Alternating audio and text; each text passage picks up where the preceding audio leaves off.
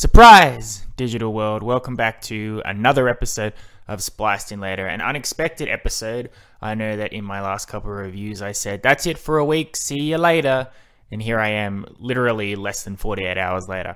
But it was pointed out to me that something was finishing up this week, which I knew but also didn't know, forgot. It's, I think I thought there'd be 10 episodes and turned out there'd only be 9. Also, I'm just a forgetful person. But it lines up with a continuing series of episodes that I'm doing, and I don't want to leave it too long because I definitely cannot do an episode next week, unfortunately. So it will be two weeks before I get back to you, and at that point, who cares? No one really cares anymore. It'll get buried away for all four of my listeners. They'll never be able to find the episode. So I thought, why not just do it this week? You got three episodes this week, plenty to go through, and then I'll be back when I back because today we are talking about the just completed MCU TV show What If on Disney Plus, an animated TV show, MCU's first animated show. It lines up with our continuing look into the Marvel Cinematic Universe. As my frequent listeners will know, it is the topic that I talk about most frequently, probably one of my most favorite things to talk about. MCU films have often dominated my top 10 lists for the years where the movies come out what makes certain films great and some so so, and I'm particularly in awe of the connected world that the Marvel Cinematic Universe has created, starting with that little film Iron Man back in 2008, and then somehow successfully building such a wide world of movies which each go off in their own different directions, have different themes, stories, movie types, and yet are able to interact with each other in a way that isn't confusing or bloated, so any person can pick up any bit of the MCU and appreciate it for what it is. If they don't want to look into anything else, they don't have to. But if you do, you get the benefit of that extra bit of stuff. It is an it is an achievement which has not been matched by anything else that has certainly tried it. So our ongoing series has mixed it up. Often I've gone back to the older movies and I'm attempting to work through them one by one to talk about the basically the early history of the Marvel Cinematic Universe, the movies, what worked, starting that very early process of just attempting to bring together four heroes before eventually getting to what it is now. Mixed up with the fact that MCU is still releasing new stuff even to this day, going on 12 years later. So when a movie or a TV show finishes up its run, I will do a review of that. So we've had WandaVision, The Falcon and the Winter Soldier, and Loki. And in those examples, I have waited until the show has completed its run before I talked about it because in some cases, particularly things like The Falcon and the Winter Soldier, which has been described as just a really long movie, there's not much point talking about it when there's only been a couple of episodes. They've only introduced a couple of characters. Story points have only really got going. Or in the case of WandaVision, the mystery is still very much in effect, so you don't really know what's going on or what the point is at that point. Plus, to wait until the end is a reflection on the show as a whole, its series. Did it work? As a series of storytelling? How was the pacing? How was the character development? Did the ending story pay off what was set up in the beginning? Stuff like that. So we are now, of course, going to talk about What If, which concluded a nine episode run on Disney Plus, started back in August, and its last episode was dropped yesterday. It is a unique one because, as I said, it is Marvel Cinematic Universe's first animated product. Everything else has been live action in some form or another.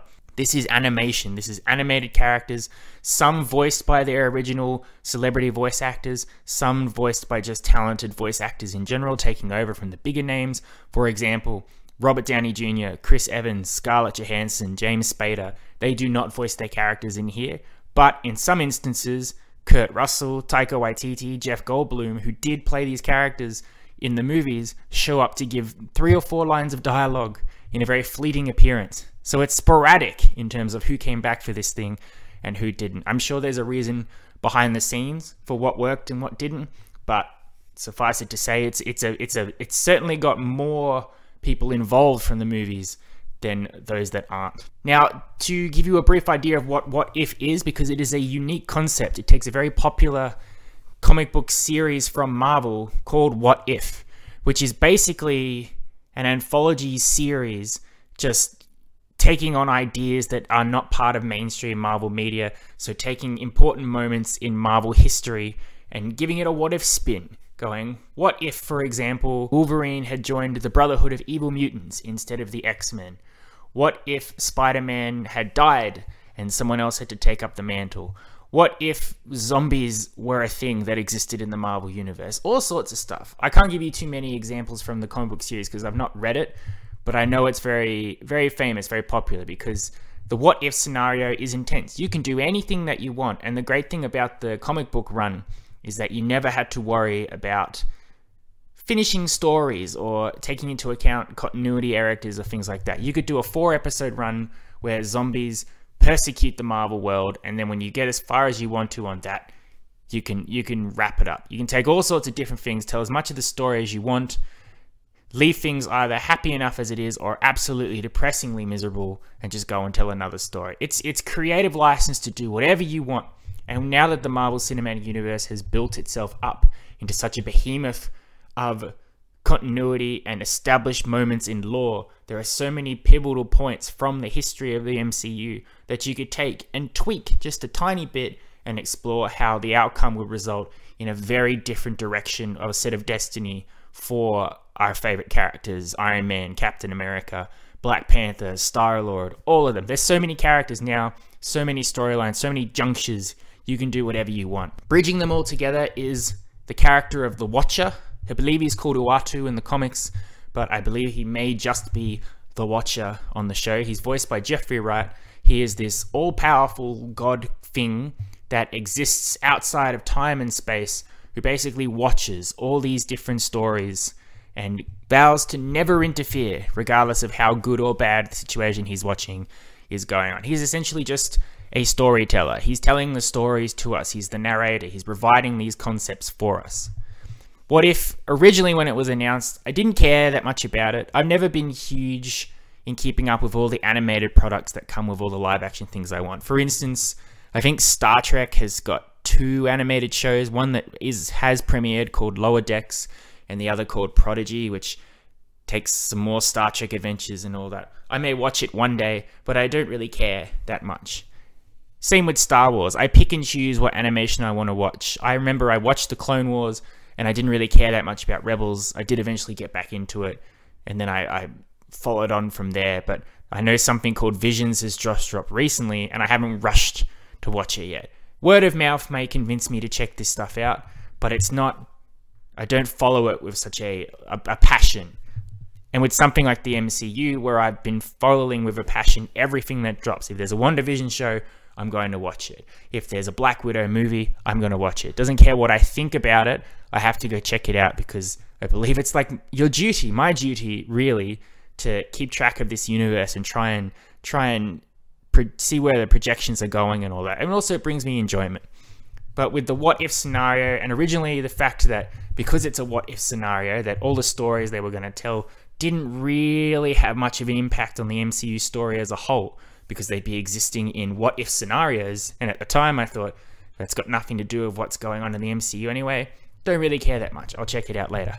But, and slight spoilers here for Loki, but Loki established that there is now a multiverse, essentially, through the results of what happened through that first season of Loki. The multiverse exists. So all these worlds that the Watcher is looking in on do now exist in their own separate realities in the MCU, but now have the potential to possibly bleed in to the live action stuff. We will have to wait and see how this goes with Spider Man No Way Home that comes out in December, because that's going full into the multiverse as well. So it sounded like now, okay, the what if scenario is important to what's going on. Maybe I will check it out. Now, I can't really talk too much about what is in it because it's a unique show that one should go into not knowing what's coming. What I really liked about this show was I had no idea after each episode what the next episode would be like, what type of story they would tell, who would be involved, if the story would go on a happy projection or a sad projection. Would it take characters that we've seen many times over, or will it take an obscure character that we've only met once or twice before? So I can't really talk too much about that, but I will give you a couple of basic examples of the earlier episodes just to give you an idea of what this show is actually tackling. So as the watcher narrates these multiverse, he always takes one thing, one pivotal thing in the MCU and he says, What if this had happened differently? So, for our first episode, what if instead of Steve Rogers getting the super soldier serum, Peggy Carter got it? What would life be like if Peggy Carter had been the super soldier? In our next episode, what if instead of Yondu going to kidnap Peter Quill on the instruction from his father, he outsourced it to his Ravager crew, who ballsed it up and kidnapped T'Challa from Wakanda instead. And then another example what if basically zombies just overran the MCU? Who would survive? Who would die? And you have yourself a bit of a fun zombie adventure. That's about as much as I'll go into it. There's some other episodes which I could give you an idea of what they're basically about, but again, it's more fun just to tune into an episode and go, oh, okay, so we're here and we're following this. Oh, that's the thing that's changed. Let's go from there. Overall, I, I really enjoyed it more than I expected to. Again, I didn't have high expectations for it and I didn't originally care originally about it. I just thought, okay, it's a thing that's coming, whatever. But I found myself really looking forward to that concept of every week jumping into this it's a random place within the Marvel Cinematic Universe and going on an adventure and seeing how things differed. And what I really, really liked about it was the anthology sense that once I watched an episode, that was that story. And you knew going into the next one that you'd get a brand new story. You didn't have to worry about, oh my God, what's going to happen there? I didn't really care because, as I said, it's a multiverse, it's a different reality. I don't mind looking in on the universe, seeing it go absolutely balls up, and then going to look into another universe because at the end of the day, it's still the multiverse, so it still doesn't really impact the current MCU timeline just yet. So it's just a fun peek behind the curtain of what could have been in other realities. The animation took a bit of getting used to in the beginning, what I will say, what I would recommend if the people who made What If ever listen to this episode, if you're doing something like What If with a multiverse, a variety of different worlds with different stories, this would be the time to to get some some famous animators or something like that with very different distinctive styles and ways of drawing and telling stories and get them to animate a different episode each. Every single one of these episodes has the same animation, all directed by Bryan Andrews which means that as much as the you get the variety of the different stories, it still feels like the same basic world. You have to remember uh, it's a multiverse, so in a different bit. It's just a creative standpoint, but I just think if you had an animation style that was anime for one episode, and then you had another which was flat 2D animation in the style of Fairly OddParents or something like that. If you had a Jimmy Neutron style 3D animation thing, it would really heighten that that feel of a what if world and a multiverse world. But that's just nitpicking.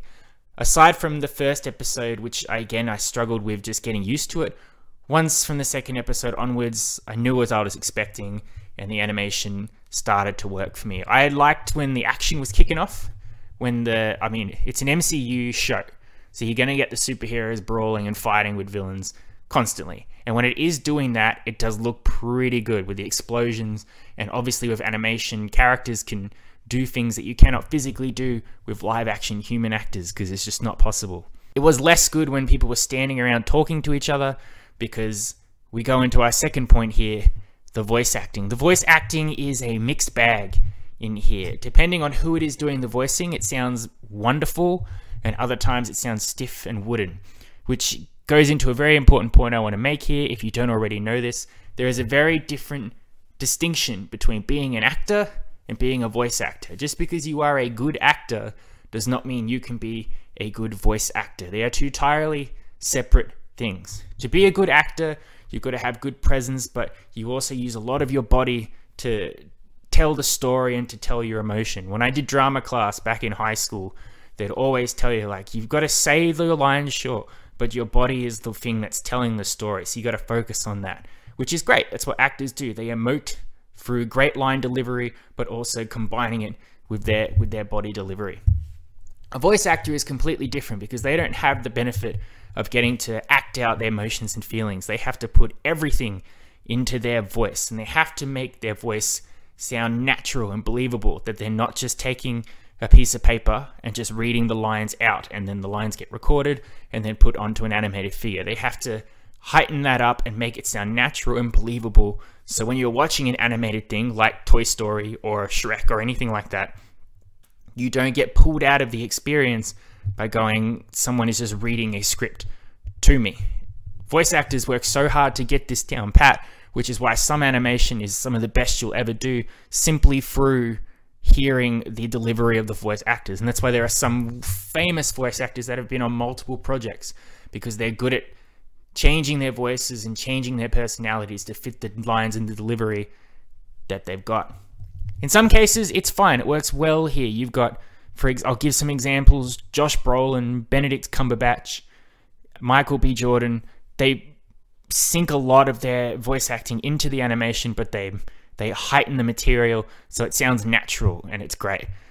Then you've got some talented voice actors who replace the the famous people who aren't involved, like Josh Keaton voices Steve Rogers, Mick Wingert voices Tony Stark, Hudson Thames voices Peter Parker, and they do a very good, if not perfect, job of mimicking the voice actors that they're doing. They're not 100% spot on, but again, they're talented, trained voice actors that work more for the delivery rather than the mimicry.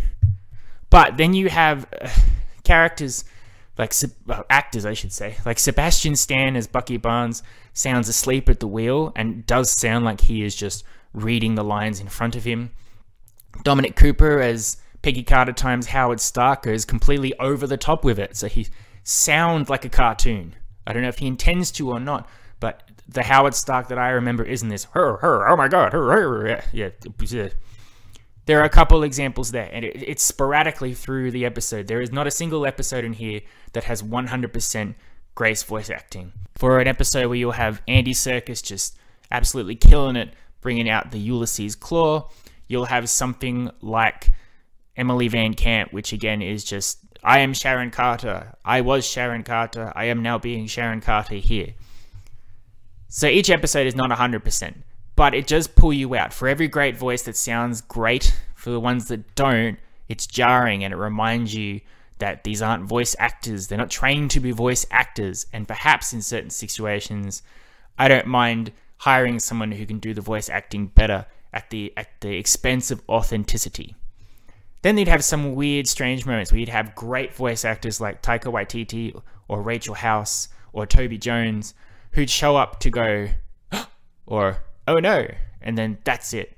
I don't know how much it would cost to hire them to do that, but if you're going to the trouble of getting someone like Taika Waititi, who is memorable as Korg, to come back to play Korg, give Korg more lines than a gasp or a yeah, bro. Like, just doesn't seem worth the expenses that it was probably paid to make that happen. Overall, I liked the anthology. As I said, I I liked that each episode was a brand new story. I liked that it went in places that the MCU has not gone before in terms of tone. There were a few episodes in here, particularly one, which go in very dark, miserable directions. MCU has always been very famous for keeping things light and breezy. Even with the Infinity War endgame gap, with Thanos snapping out half the universe, there was still levity in the survivors and the jokes, and there was still the belief and the knowledge, really, that things would be fixed and everything would go back to normal eventually. Some of these episodes take such a dark, downward crash in terms of disaster for our main characters and and when we leave them they're in utter despair or dying or all sorts of stuff like that and it leaves you with a hollow sense. But it was a new sense and it lended to the to the sporadicity of the episodes and the fact that you never really knew where things were going to go or what would happen which I really really liked. And I really liked that the watcher was commenting on things as he went, and his narration would change depending on how he felt about the story. If he's watching Thor having a big old time because he's a big party boy, he tends to look at it with amusement. If he sees a hero leaning into the dark side and destroys an entire universe because of it, he's generally annoyed.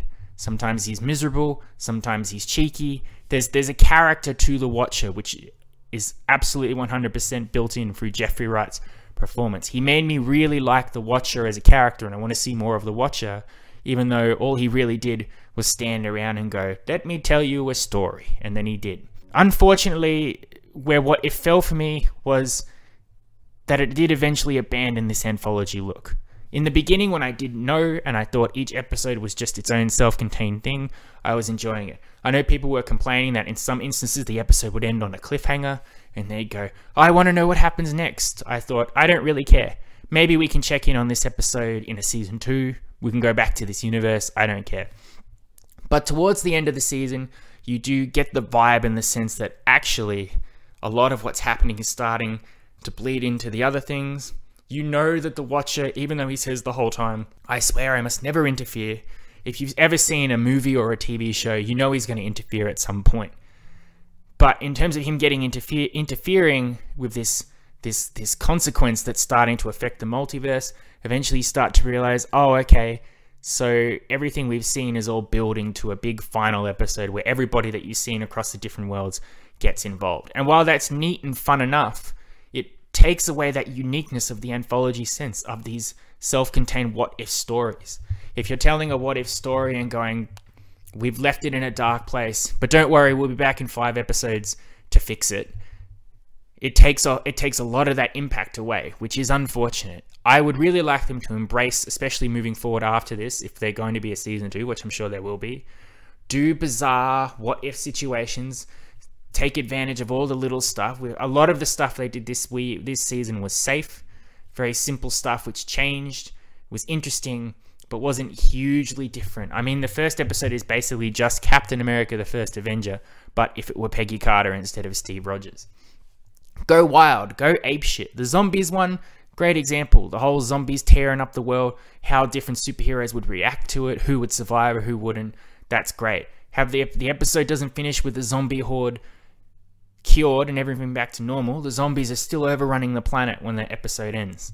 Do stuff like that. I want more episodes as well where people do bad things and turn to the dark side and as a result people die or people get separated or all stuff like that i want that and then i want to never visit those places again if, someone does something which ends with them in their own personal hell leave them to it that's the be- that's the beauty of a what if scenario we don't need to fix it we don't need to link everything as a result because of that the final episode, final episode for me for what if while entertaining enough felt flat because it felt more like a finale to all the other stories that we had before rather than its own self-contained story and it wasn't that particularly powerful. A side note as well, a character shows up in the final episode completely out of nowhere, which doesn't fit with the vibe of, oh, we're bringing back all these characters, so why is this character here? I later found out later on that that's due to COVID 19, because there should have been 10 episodes, instead there were 9, so that character's episode was cut, but they still included that character in the finale, which is very jarring in terms of what they're going for. It's not jarring enough to pull you out completely, but you do go, what? Who's this? Why are we here? What's that world? That story that they're coming from looks intriguing. I want to know more about that. No, okay, we're doing our standard fist up flat. Overall, What If though is fun. It is a fun, unique thing that MCU has not done before in terms of animation and anthology shows and the bizarreness of what they can do with the multiverse now that it is a new thing. I give it a 8 out of 10. It was a fun thing every week. I enjoyed looking forward to a what if episode, theorizing about what would happen into it, getting to experience the story, going, oh, cool, interesting, and then leaving that story and going on to the next one. That was a lot of fun. The animation grew on me. The voice acting, when it was good, it was really good, and when it wasn't, it really wasn't. And again, it all pivots down to just the just the fact that the MCU is going in these fun new directions because they got to do at this point. They got to shake it up and they got to do things different.